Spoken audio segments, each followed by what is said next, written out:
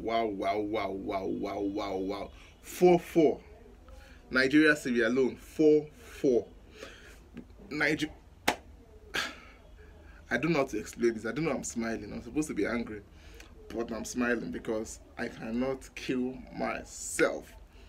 Nigeria were leading the game, four goals to nil, 29 minutes in the game. We ended the first half, four goals to one, still leading with three goals. We considered 41st minute of the game. It's been crazy, and they came back 71 minutes, scored 82, scored 86, scored, and they got a point. Well, I have to give credit to Sierra Leone because the team came, they did not sit back, they attacked, they attacked, they did not sit back to defend.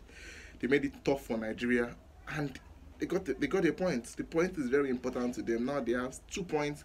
They are third in the group, and they have a so uh, they have a short chance to qualify to the Afcon. Nigeria connected up with seven points, but I cannot believe that we lost four goal lead at home in Nigeria to Sierra Leone. Well, on paper, Nigeria should have won, but a lot of things happened in the game. We started the game really well. Iwobi came in, fifth minute of the game, he scored. You know, we started with a very good momentum in the game. In the 21st minute, Victor Osimhen, star player, scored the second goal. Wonderful assist by Zaidu Sanusi. He was fantastic in the game, at least in the first half. And uh, we got the second goal. The third goal came from Sam, from Iwobi, a wonderful shot from outside the box. Keeper could not do anything about it.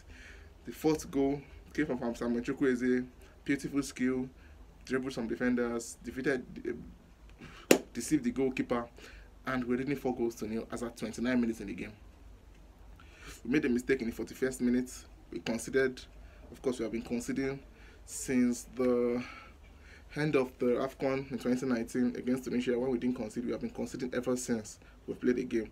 And um, I think the coach has to work on that. We considered in the first half. The first half ended four goals to one. And I thought, oh, four goals to one is not that bad. Nigeria can win the game. But it was terrible in the second half. It was terrible because Number one, Osimhen got an injury. I hope he gets better really soon. I hope he recovers really soon. I think it's his arm. We have to wait for the medical report from the coach. But it's it's second half was terrible, honestly. It was terrible. We did not get any clear chance on goal, no clear attempt to go. Osimhen should have scored early in the first half, but he was unlucky. It's the woodwork, and that was it. That was it. It was just sad that we could not get a point. We could not get three points. We only got a point.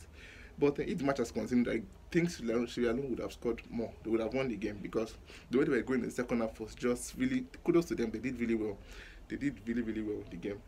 And uh, here we have to play them again away on Tuesday, 17th of November. And um, I don't know what would happen in that game. If Sierra Leone play the way they played in the second half, they might end up defeating Nigeria at home. We never can tell. But what a game, 4-4.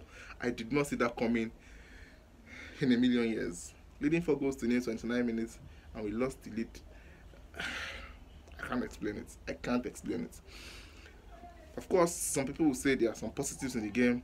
I have to agree with that too, but at the same time, you can't bring out the positive when you lose you, you, you lose you lose four goal lead. You can't. You just can't. I'm trying to, but I can't. I can't.